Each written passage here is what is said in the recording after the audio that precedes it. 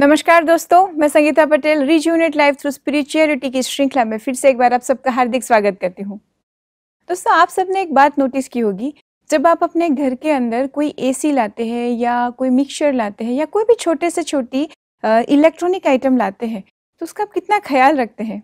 और उसमें दिया हुआ मैनुअल भी आप पढ़ते हैं कि किस तरह से उसको ऑपरेट करना है, क्या नहीं करना है, क्या करना है, सारी चीज़ों का ध्यान देते हैं। क्यों? इसीलिए ना कि वो ज़्यादा तक अच्छी तरह से चले, उसमें कोई खराबी ना आए। तो अपने शरीर का भी ऐसा ही है। भगवान ने हमारी बॉडी को, एक मशीन को इतना अच्छे से बनाया है, इतना टेक्निकली इतना साउंड किया हुआ है। अगर हम उसको अच्छी तरह से यूज़ नहीं करते हैं, अगर उसमें हम छेड़छाड़ करते हैं मतलब हम उसको बिना किसी रेस्ट के यूज़ कर ले या कुछ भी उसके अंदर आलतू फालतू चीज़ें डाल दे या ठीक से नींद ना ले एक्सरसाइज ना करे तो क्या होगा? तो मशीन तो ख़राब होनी ही है।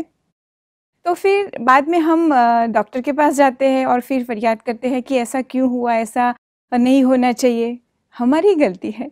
अगर हम मशीन्स के बारे में इतना ख्याल रखते हैं, जो कि मामूली सी चीज़ें हैं तो ये तो बहुत ही बेहतरीन और अमूल्य चीज़ है, जो ऊपर वाले की देन है। इसका ख्याल हमें रखना ही चाहिए।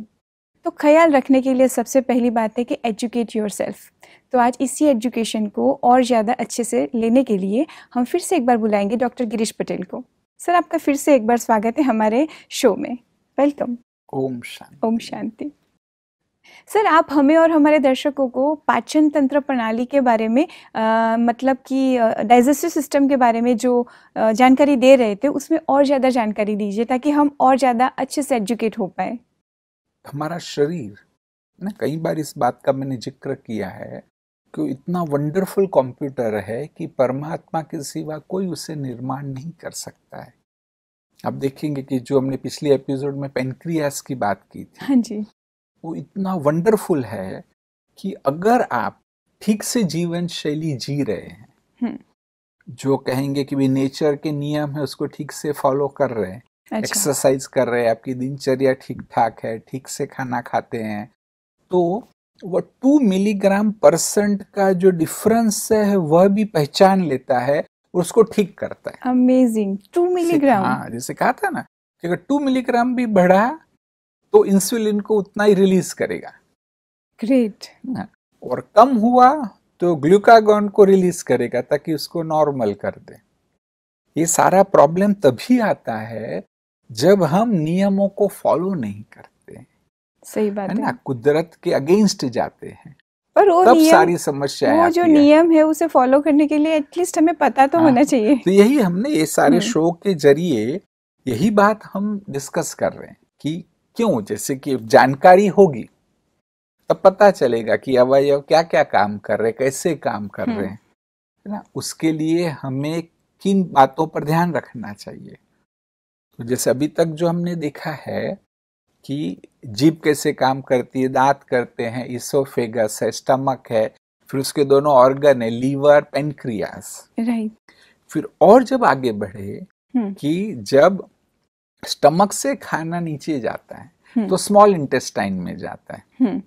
और कहते हैं कि स्मॉल इंटेस्टाइन को तीन भागों में बांटा गया है। ओके एक तो ड्यूडिनम वो छोटा सा है करीब देखो तो कितना कहेंगे कि 15-16 सेंटीमीटर जितना होगा। अच्छा।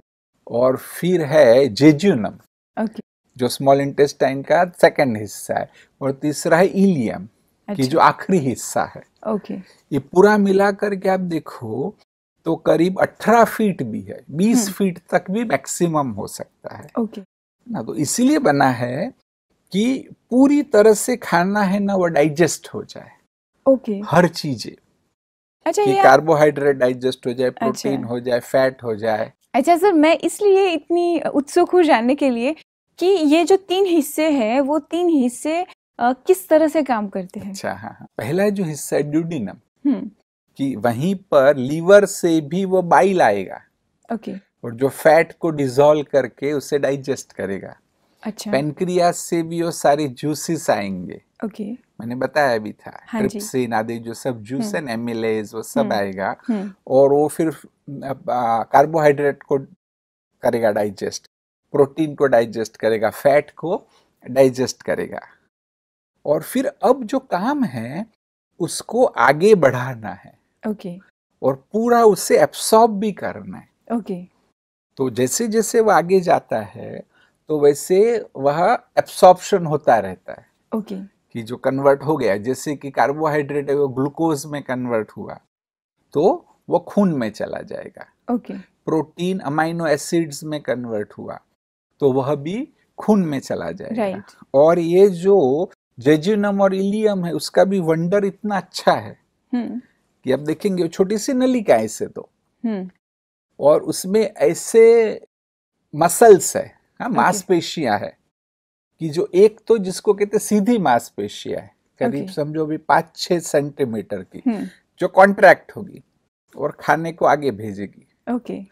फिर वो पूरा हुआ तो दूसरा हिस्सा कॉन्ट्रैक्ट होगा खाने को आगे भेजेगा। अमेजिंग जैसे टीम वर्क होता है ना हाँ जी। जैसे पूरा एक टीम काम कर रही है। ओह ग्रेट और साथ में ऐसे भी मांसपेशियाँ की जो ऐसे उसको कॉन्ट्रैक्ट करती ओके ताकि भी उस पर फोर्स आए और वह आगे जाए। Great right right. उसके बाद जो आप बात करें जैसे ये आपने बताया जेजुइनम के बारे में। जेजुनम और वो तो वो तो सिर्फ़। एक्चुअली हिस्से के रूप में बताया है। अच्छा। क्योंकि कहाँ पर है हम्म ड्यूडिनम में बहुत सारे सब जूस क्रिएट होते हैं। ओके वहाँ पर ब्रेक डाउन होता है। ओके फिर वह आगे बढ़ता जाता हम्म। है।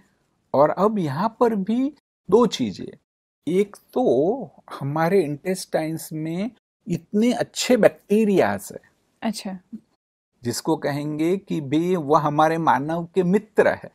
राइट आपको ये जान के आश्चर्य होगा कि समझो मेरा वज़न पचहत्तर किलो है। हम्म। तो 750 ग्राम से लेकर के करीब दो किलो तक वो बैक्टीरियाज हमारे शरीर में है कि जो बहुत काम के हैं। उसको खत्म कर दो तो समस्या है जब भी हम एंटीबायोटिक लेते हैं तो बैक्टीरिया मर जाते सारे। राइट क्योंकि एंटीबायोटिक को मालूम नहीं है। कि भी वो जम्स को मारना है या इसको मारना है? वो तो सबको मारता है। हाँ। तब आप देखना कि जब भी डॉक्टर्स एंटीबायोटिक देंगे तो एक लैक्टोबैसिलस करके एक गोली देते साथ में। ओके। ताकि अगर वो मर भी गए तो आपको लेक्टोबेसिलस उन्होंने बाहर से दिए। हम्म।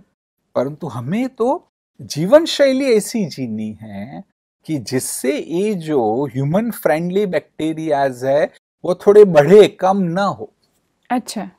आज हम जो करते हैं ना उसमें इनको मारते हैं। ओके। अलग अलग रीति से। एक तो जो भी आप आर्टिफिशियल स्वीटनर्स ले रहे हैं लाइक है ना सेक्रीन है ओके। फिर शुगर फ्री ओके। ये जो सब है एस्पर्टाइन है उसमें कि ये ऐसे तो लगता है कि भी ये आर्टिफिशियल स्वीटनर है वो आपको स्वीट टेस्ट दे रहे हैं। हम्म। लेकिन वो स्मॉल इंटेस्टाइन लार्ज इंटेस्टाइन में जाकर के बैक्टीरिया को मार देते हैं। अच्छा। तो अच्छा नहीं है। ओके। हाँ क्योंकि इसका इफ़ेक्ट कहते ब्रेन पर भी है फिर। हम्म। और इस पर रिसर्च हुई है। आज कोई बोलता नहीं है नहीं आप डॉक्टर को पूछेंगे तो बताएँगे नहीं। राइट। right. अभी कोल्ड इस पर ड्रिंक्स रिसर्च हुई हाँ कोल्ड ड्रिंक्स ड्रिंक्स में कोल्ड ड्रिंक्स में भी ऐसे कितना एक्स्ट्रा होता है जैसे शुगर फ्री कोल्ड ड्रिंक्स होते हम्म, हैं। हम्म, नहीं उसमें भी तो है ना ये। हाँ जी। एस्पर्टाइन आदि उसमें है और कोल्ड हाँ। ड्रिंक में तो क्या इट्स कार्बोनेटेड वाटर तो वहाँ पर हाइड्रोक्लोरिक एसिड एक्चुअली ओके कि जो भी इंटेस्टाइन में जाएगा इन बैक्टीरियाज को मार देगा। अच्छा सर तो ऐसा होता है ना जैसे वो सोडा पीते हैं ऐसा बोलते हैं कि एसिडिटी हुई है तो सोडा पीना है या आप रोड पे निकलेंगे तो कई जगह बाइकार्बोनेट जिसमें है ना अच्छा। वो शायद तो हेल्प करता है बाइकार्बोनेट हेल्प करेगा मतलब- क्योंकि वो अल्कलाइन है। अच्छा और सर वो जो होता है जिससे अपने खाने में यूज़ करते हैं जैसे अभी इनो आता है हाँ ये हाँ। तो डेफिनेटली ये ये एक अल्कलाइन है। ओके तो डाइजेशन में थोड़ा आपको अच्छा लगेगा। ओके दैट कैन हेल्प और खाना जैसे बताया ना ऐसा खाना चाहिए कि ये ह्यूमन फ्रेंडली बैक्टीरिया बढ़े। अच्छा। ना? उसके कई तरीके एक टेबलेट फॉर्म में तो अच्छा नहीं है। हम्म। हो सकता है कि हमें नेचुरली लेना चाहिए। अच्छा। जब दूध का दही बनाते हो हम्म। तो दही में वो बैक्टीरियाज पनपते बहुत सारे। हम्म। तो रोज दही या छाछ का सेवन करना चाहिए। ओके। कि जो बैक्टीरियाज को नॉर्मल रखेगा। ओके। okay. और साथ ही जैसे अचार पहले बनाते थे ना हाँ ऐसा नहीं जिसमें बहुत सारा मसाला डाला हो ऑयल डाला हो हम्म। वो कम से कम ऑयल कम से कम हो नमक कम से कम हो। हम्म। और गाजर का भी आप ऐसा अचार बना सकते हाँ हैं। कि जिसको गर्म नहीं करना है। हम्म, नेचुरली धूप में रखते हैं वापस रख देते हैं। उस प्रोसेस से जब बनाते हैं जिसको कहा फर्मेंटेशन ओके तो वह अचार बहुत अच्छा है। अच्छा अगर थोड़ा- थोड़ा- शुगर शुगर कम तो डालो। शुगर कम डालो कम अच्छा। से कम हो नमक कम से कम हो ऑयल कम से कम हो ओके है ना? तो उससे भी वो जो ह्यूमन फ्रेंडली बैक्टीरियाज है वह बढ़ेंगे। ओके ग्रेट अच्छा सर आप जो बता रहे हैं कि जीवन शैली के प्रभाव से ये सारी चीज़ें में अ, मतलब जो भी दिक्कतें आती है उसके कारण आती है। तो एक तो आपने हमें बताया कि ये सैक्रीन वगैरह नहीं लेना चाहिए। हम्म। और क्या है जो हमें नहीं लेना चाहिए? और एक जैसे कि भी हैवी फ़ूड ओके। एक साथ जब हम ज़्यादा खाते हैं ना तब भी वो एंजाइम्स तो रिलीज़ होंगे। हम्म। परंतु फिर वो कंफ्यूजन भी वहाँ पर होता है क्योंकि प्रेशर बढ़ गया। अच्छा। आपको आश्चर्य होगा कि इस प्रकार के अलग अलग तत्व है ने? वो केमिकल्स है हॉर्मोन्स भी है। हम्म। कि जैसे हमने डिस्कस किया कि स्टमक का नीचे का जो हिस्सा है पाइलोरस हम्म। है कि भाई वो खुलता है तो वो खाना है वह नीचे जाएगा है। हम्म। तो वह भी एक हार्मोन है कि जो उसको एक्टिवेट करता है। अच्छा। कि बस अभी हो गया इनफ राइट है ना? और अगर वो कम है वो उसकी मात्रा कम है तो आपको बार बार भूख नहीं लगेगी। ओके। अगर उसकी मात्रा ज़्यादा हो गई तो आपको बार बार भूख लगेगी। अच्छा। क्योंकि एम्प्टी हो जाएगा फिर से आप खाने लगेंगे। और ये सब का रिलेशन हमारे थॉट्स के साथ। अच्छा। नहीं हमारे जो विचार है आज कई लोग खुद भी कहते हैं। मैंने कईयों को पूछा है कि जो सचमुच मोटे हैं कि उन्होंने अभी खाना खाया थोड़ी देर के बाद फिर से कुछ खा रहे हैं बोले क्यों? तो कहते भूख लगी। कहेंगे सच में? तो कहते नहीं ये तो झूठी भूख है। अच्छा। वो खुद जानते हैं कि झूठी भूख है। किंतु फिर भी खा रहे हैं। और कई बार तो मैंने व्यक्तिगत बैठ करके अच्छे से डिस्कशन भी किया है। अच्छा। कि वह अपने जीवन को थोड़ा भी ठीक करना नहीं चाहते। अच्छा। उनके जो गोल्स है लाइफ के वो लाइफ के गोल्स तक पहुँचने के लिए इस चीज़ को उन्होंने सेकेंडरी बना दिया है। अच्छा। कि फॉर एग्ज़ाम्पल कि कोई मैनेजर है हम्म।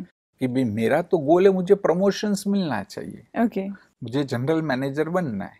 हम्म। है ना? या तो फॉर एग्ज़ाम्पल जनरल मैनेजर है तो मुझे एग्जीक्यूटिव डायरेक्टर बनना है। हम्म। उसके पीछे इतना लगते हैं कि इस चीज़ को छोड़ देते मतलब कि हेल्थ तो बाद में देखा जाएगा इससे। अच्छा हेल्थ की बात हाँ, परंतु ये इम्पोर्टेंट है।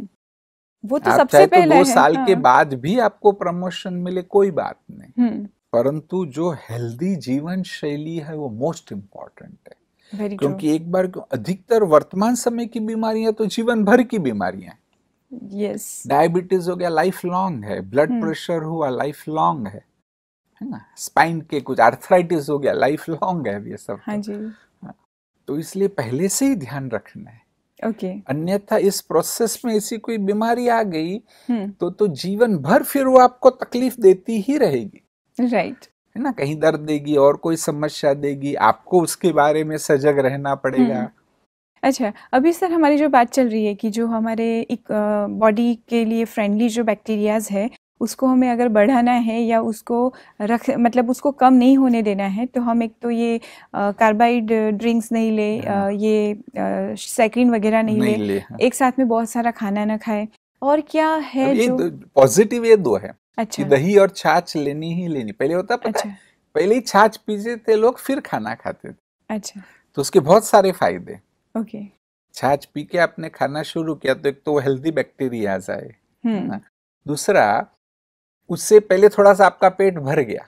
हम्म। तो ऊपर जो आप खाएँगे ना वो कम खाएँगे। सही है। और फिर खाने में जो ग्लूकोज है वो ब्लड में धीरे धीरे जाएगा। ओके। इवन डायबिटीज़ के पेशेंट भी अगर ये करे हम्म। तो जो डेढ़ घंटे या दो घंटे के बाद ब्लड शुगर उनकी चेक करते हैं हम्म। वो एक ये बदलाव से थोड़ी कम हो जाएगी। मतलब पहले बटर मिल्क लेंगे। हाँ। तो नहीं एक तो वो जब हाँ। मैंने अचार की भी बात की हाँ जी। वो भी एक अच्छा तरीका है कि Okay. कम ऑयल यूज़ करो okay. या कम नमक यूज़ करो और ऐसा कुछ। अचार बनाओ और वो खाओ तो बेस्ट बहुत सारी स्पाइसी और मसाले वाली चीज़ भी शायद इसे नुकसान करेगी ना? वो तो ऐसे तो नुकसान करेगी ना। ओके हाँ उससे कोई फ़ायदा नहीं है। अच्छा और बहुत सारा ऑयली फ़ूड खाने से तला हुआ खाने से भी बैक्टीरिया कम हो जाएँगे? बैक्टीरिया कम होंगे नहीं अच्छा। परंतु तो हेल्थ के लिए अच्छा हाँ वो तो हेल्थ हाँ, के लिए। बात सही हेल्थ के लिए हम्म, अच्छा नहीं है सिर्फ़ बैक्टीरिया नहीं मरेंगे ओके परंतु हेल्थ के लिए अच्छा नहीं है। अच्छा सर ये ये भी जैसे आज भी बच्चे सिजेरियन सेक्शन से होते हैं ना हाँ जी। जैसे माँ का जो पूरा पैसेज है उसमें भी बैक्टीरियाज है। ओके। हाँ तो उसकी भी ज़रूरत है। ओके। हाँ उस proper for no child's overall health. Okay. Caesarean से जब बच्चे होते हैं तो वो बेनिफिट चला गया। अच्छा तो वो बच्चा वीक होता है? वीक होता है ऐसा नहीं लेकिन भी वो ह्यूमन फ्रेंडली बैक्टीरियाज नहीं है हम्म। तो उसकी जो नेगेटिव इफ़ेक्ट है वो नेगेटिव इफ़ेक्ट होगी। वो क्या और होती है? एक तो कहीं सेंसिटिव होगा अच्छा। इन्फेक्शंस उसको जल्दी लगेगा। उसका जो वो तो टेम्पररी है फिर तो आप उसको स्नान करवा देंगे बच्चे को है ना? फिर भी वो टेम्पररी जो बेनिफिट है वह तो है ही है। ओके ऐसी राइट बात नहीं कि भाई जहाँ ज़रूरत है। अभी जैसे पहले बच्चे मर जाते थे जब हम्म। सिजेरियन सेक्शन नहीं था तो हम्म हम्म। है ना? सही है। ठीक अच्छा okay. सर हम जो बात कर रहे हैं कि स्मॉल इंटेस्टाइन की बात हो रही है तो ये जो आपने हमें पूरा प्रोसेस बताया वो स्मॉल इंटेस्टाइन का था राइट हम्म, अब उसके बाद हम्म। क्या प्रोसेस है अच्छा अभी स्मॉल इंटेस्टाइन से जब वो ऑलमोस्ट डाइजेस्ट हो हम्म। जाता है खाना यहाँ तक थोड़ा ऐसा ही कुछ बचेगा फिर आएगा जिसको कहा लार्ज इंटेस्टाइन हाँ जी है ना कि वो काफ़ी बड़े है और उसमें एक तो ऐसा है कि जो ऊपर जाता है असेंडिंग ओके दूसरा है कि ट्रांसवर्स मतलब कि हॉरिजॉन्टल है ओके और तीसरा जो हिस्सा है वो नीचे जाने वाला हिस्सा Okay. है है ना हम्म। अभी इसमें भी कुछ डाइजेशन होगा और इम्पोर्टेंट काम यहाँ पर ये होता है कि वो पानी को एब्सॉर्ब कर लेता है। ओके ताकि जो हमारा मल है हम्म। स्टूल है हम्म। स्टूल है ना वो सॉलिड हो। ओके और जब अगर आप फाइबर वाला खाना खाते हैं हम्म। तो फिर भी उसके अंदर कुछ पानी रहेगा। ओके आजकल हम फैटी फ़ूड खाते हैं सिर्फ़ हाँ जी। है ना? सिर्फ़ प्रोटीन वाला खाते हैं। हम्म। तो वो पूरा पानी को सोच लेगा। हम्म। फिर जो बच्चे का इतना हार्ड होगा हम्म। कि इसी के कारण आज आप देखो तो कि भी कॉन्स्टिपेशन बहुतों को है। हाँ जी। है ना? फिर पाइल्स होते हैं। हाँ। फिस्टुला होते हैं। ये सबके पीछे यही कारण है कि हम रेसे वाला खाना नहीं खा रहे। तो ये जो लाइनिंग है ना आप देखेंगे बड़ी सेंसिटिव है। ओके। ये भी एक आप देखिए कुदरत की कमाल है। कि स्मॉल इंटेस्टाइन में लार्ज इंटेस्टाइन में भी जस्ट एक मिलीमीटर की विलस बोलते हैं उसको वो एक मिलीमीटर का ही है और ऐसे हिलता रहता है। हम्म। करोड़ों की मात्रा में है। हम्म। वो हिलते रहते ताकि खाने को आगे भेजता जाए। अच्छा। अब इतना छोटा सा है आपका जो स्टूल है वो तो इतना हार्ड हो गया हम्म। उस पर कुछ इफ़ेक्ट ही नहीं करेगा। ओके। उल्टा वहाँ तो सूखेगा ना तो डाइवर्टिकुलम एक बीमारी होती है आगे हम डिस्कस करेंगे। ओके उसके अंदर जाकर के एक सेक जैसा बना देता है। ओके सर आप हमें जो ये बता रहे हो कि लार्ज इंटेस्टाइन के अंदर जिस तरह से हम जो खाना लेते हैं जिस तरह का हम खाना खाते हैं उसके हिसाब से प्रोसेस होता है। अगर हम फैटी फ़ूड लेते हैं और जैसे मैदा वगैरह खाते हम्म, हैं हम्म, जिसमें रेसे नहीं है नहीं है तो हमें कॉन्स्टिपेशन होने की हंड्रेड परसेंट संभावना है। हाँ, और इससे बचने के लिए हमें एक तो फाइबर वाला फ़ूड लेना है। हाँ, और मतलब तली हुई चीज़ें नहीं खानी है हाँ। मसाला वाला नहीं खाना है। और क्या चीज़ें हैं जिसे हमें ध्यान में रखना चाहिए जिससे हमें ये जो प्रॉब्लम है जो बीमारी है जिसे कॉन्स्टिपेशन कहते हैं वो ना हो? थोड़ा तो ये बता दो रेसे वाला मतलब क्या कि फ्रूट्स हाँ जी फ्रूट्स फिर सब्ज़ियाँ? यस है ना बीन्स यस ऐसे जो अंकुरित अनाज है। हम्म ऐसे ही होल ग्रेन्स यस की जो आटा बनाते हैं तो उसके अंदर वो जो चौकर को फेंक देते हैं ना हाँ। वो फेंकना नहीं है। उसी Okay. में रेसे है। हम्म ना वो बहुत ही महत्वपूर्ण है। ऐसा भी कहते हैं मोटा आटा दलिया। हाँ वो मोटा आता हाँ। हम्म और खूब पानी पियो। ओके ना, तब भी वो थोड़ा सा उसमें हेल्प मिलेगी। फिर सवेरे उठ के भी धीरे धीरे भी आप गर्म पानी पियो सिप सिप हम्म। है ना? एक ग्लास डेढ़ ग्लास ऐसे गर्म पानी पियेंगे ना तो गैस्ट्रो कॉलिक रिफ्लेक्स स्टार्ट होगी। ओके। हाँ। और फिर स्टूल को पास करने में सहज होगा। ओके। फिर भी वो हार्ड है तो दिक्कत होने ही वाली है।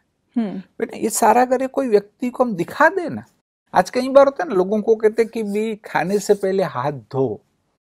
तो कि देखो हमारे हाथ तो साफ़ है कहाँ है कुछ? है ना? सही है। लेकिन उसको माइक्रोस्कोप के नीचे दिखाओ कि आपके हाथ में कितने सारे बैक्टीरिया है। तो व्यक्ति जाग जाता है. माय गॉड इतने सारे बैक्टीरिया मुझे हाथ धोने चाहिए सबसे पहले तो उसमें मेरा नंबर आता है। अच्छा हाँ अगर मुझे मुझे अपने आप को बोलना होता है कि हाथ धो लो तो मैं पानी से हाथ धो देती हूँ फिर आलस आती है। कौन हाथ धोए? सोप से कौन हाथ धोए? हाँ, लेकिन नहीं वो अगर देखो ना आप एक दो बार तो आपको पता चल जाएगा भी। हाथ साफ़ है तब भी माइक्रोस्कोप के नीचे रखो।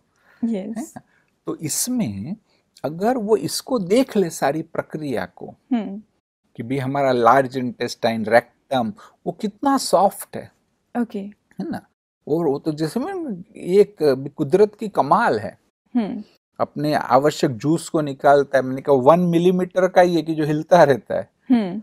और अभी ऐसा एकदम सॉलिड फ़ूड उसके ऊपर जाएगा तो उसकी हालत क्या होगी? Yes yes. है ना? सु, सुन के ऐसा लग रहा है कि हम क्या कर रहे हैं। हाँ जैसे नहीं चमड़ी पे भी कुछ घीस दो। हाँ। मुँह में कुछ ऐसी चीज़ को घीस दो तो हम्म। छाले पड़ जाएँगे। हम कितना ख्याल रखते हैं अपने चेहरे का हाँ, अपने हाँ, हाथों का हाँ, जो हाँ, आउटर हाँ, स्किन है हाँ, उसका तो इनर स्किन का कैसे हाँ रखेंगे हम्म। अगर हमें पता ही नहीं तो हम कैसे रखेंगे? हाँ नहीं नहीं कैसे अपने कोल्ड ड्रिंक सारा समय लगाते रहते हो है ना? सनस्क्रीन लगाते हो। ये जैसे हम अगर किसी को बोले की आप थम्सअप की बोतल ऐसे करके अपने हाथों पे डालो या गर्म पानी डालो बहुत सारा उबलता हुआ तो हम्म। नहीं डालेंगे हम्म, क्योंकि वो करते ही हमें जलन स्टार्ट हो जाती है। हाँ, तो अंदर की जो स्किन है उसका क्या? क्या होता है? अगर हम मिर्ची को यहाँ. घिसेंगे तो कितना हाँ, जलेगा? हाँ, तो वो अंदर की स्किन का क्या होगा? करेक्ट तो बस वो देखना चाहिए तो आपको खुद हो जाएगा कि हम्म। इसको और फिर क्या है कुछ हद तक है ना ये सारे अंग हमारे बोलते नहीं है। ओके वो कोशिश करते एडजस्ट करने का। ओके लेकिन जब समस्या हद के बाहर हो जाती है फिर तो एक परमानेंट प्रॉब्लम यस जैसे ना पाइल्स हो गए एक परमानेंट प्रॉब्लम आपके लिए हुआ। राइट ना डाइवर्टिकुलम के अंदर जाते जाते एक सेक्स बन जाता है। हम्म। है ना? तो एक परमानेंट प्रॉब्लम अभी तो आपके लिए। राइट हम्म, उसमें कुछ भी चला जाएगा इन्फेक्शन होगा फिर। अच्छा। है ना? अंदर रह गया तो तो फिर इन्फेक्ट होगा yes, ही ना। हाँ। ट्रू तो इन सब बातों को देखकर थोड़ा सा भी व्यक्ति समझे ना कि भी हेल्थ इंपॉर्टेंट है। यस ना? और ये चीज़ें जो है सिंपल सी करने की है। शुरुआत आप थोड़े से करो। Right right. हाँ, तो तब बेनिफिट होगा। सर ये जो हमें आपने बताया कि लार्ज इंटेस्टाइन के अंदर किस तरह से वर्क होता है और हमें क्या मतलब ध्यान रखना है जिससे बहुत सारी बीमारियों से हम बच सकते हैं। तो अब मैं, जैसे आपने हमें पूरा जो हमें प्रोसेस समझाया ना कि डाइजेस्टिव सिस्टम किस तरह से काम करता है, उससे कौन कौन से अंग जुड़े हुए हैं और उनका हमें ख्याल कैसे रखना है। तो अब हम आपसे जानना चाहेंगे कि ये पूरी जो सिस्टम है उससे रिलेटेड क्या क्या बीमारियाँ हो सकती है और उनसे हम किस तरह से निजात पा सकते हैं। बट अगेन यहाँ पर फिर से टाइम की थोड़ी प्रॉब्लम होगी क्योंकि almost time about to finish तो आज हम इस जो हमारी बात का जो टॉपिक जो चल रहा है उसको हम यहीं पर विराम देंगे और अगले एपिसोड में हम फिर से इसी टॉपिक को आगे बढ़ाएँगे। तब तक के लिए आपसे इजाज़त चाहूँगी। थैंक यू सो मच ओम शांति। ओम शांति। दोस्तों आज हमने बहुत सारी चीज़ें जानी। और मैं सीरियसली ऐसे सोच रही हूँ कि अगर ये सारी चीज़ें हमें पहले से पता हो कि हमारे अंदर जो ऑर्गन्स हैं, वो कितने डेलिकेट है और कितने अच्छी तरह से काम करते हैं, उसका मैकेनिज्म मतलब हम सोच भी नहीं सकते इतना बारीकी से वो काम करते हैं। तो सच में हम इनका ख्याल रखते हैं, क्योंकि ये हमारे लिए कितने इम्पोर्टेंट है, ये जो इंसान बीमार हुआ है और उसको जो लाइफ लॉन्ग बीमारी हो चुकी है, उनसे पूछना चाहिए। जैसे आज हमने बात की कि छोटी आंतें और बड़ी आंतें किस तरह से काम करती है, उनके अंदर किस तरह का फंक्शनिंग होता है और वो कितने डेलिकेट होते हैं। पर हम क्या करते हैं? हम कुछ भी खा लेते हैं और आजकल तो बच्चे पेरेंट्स बच्चों को समझाते भी नहीं है। बच्चे ने डिमांड की कि आज खाना नहीं है, मैगी बना के खिला दी समोसे बना के खिला दिए पिज़्ज़ा मंगवा दिया बर्गर खिला दिया। यही तो सब हो रहा है। फिर क्या होगा? बच्चे मोटे होते जाएँगे, बड़े होके उनका यही स्टाइल वो लोग अपनाते हैं ताकि वह उनकी मतलब हेल्थ के बारे में कॉन्शियस ही नहीं होंगे। एक्चुअली हमें खुद को एजुकेट करना है, बच्चों को एजुकेट करना है, ताकि हम तंदुरुस्त रह पाए। और इसके लिए आज हमने काफ़ी सारी चीज़ें जानी। बहुत सारा पानी पीना है फाइबर्स लेने हैं, क्यों लेने हैं, इसका इम्पोर्टेंस तो आज आप समझ ही गए होंगे।